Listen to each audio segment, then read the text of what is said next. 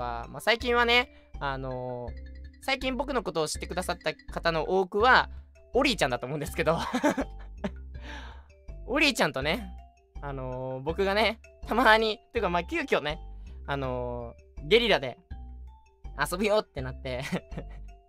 いいよって言って遊んで、なんかそれで僕が兄貴になると、お兄ちゃんになって、最近はお兄ちゃんになりました。あの、兄弟がね、できてしまいました。兄弟がね、できてしまって。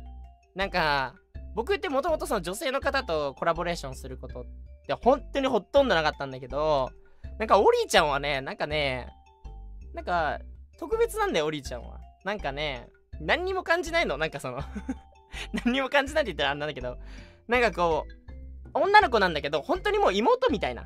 もう、妹みたいな感じなの。あの、お友達として仲良くしましょうとかじゃなくて、もう妹みたいな感じなんだよね。そう。だからなんか、いけるわって感じで あ、これなら話せるな、みたいな感じでしたね。多分、オリーちゃん以外だったら多分あんまね、話せないかもしんないんですけど。うん。まあ今後もね、一緒になんかやれたらいいねって話をしてます。うん。僕からね、あのー、いつもね、お兄ちゃんが誘ってくれるから、兄貴って、エフェクスやりよ、アンキーって言ってくれるから、いやーって、いやーっていう感じでいつも言ってるんですけど。まあ一個ね、僕からね、お誘いさせていただいてるものもありますので、そのうちね、公開させていただければなと思うんですけども。いやー。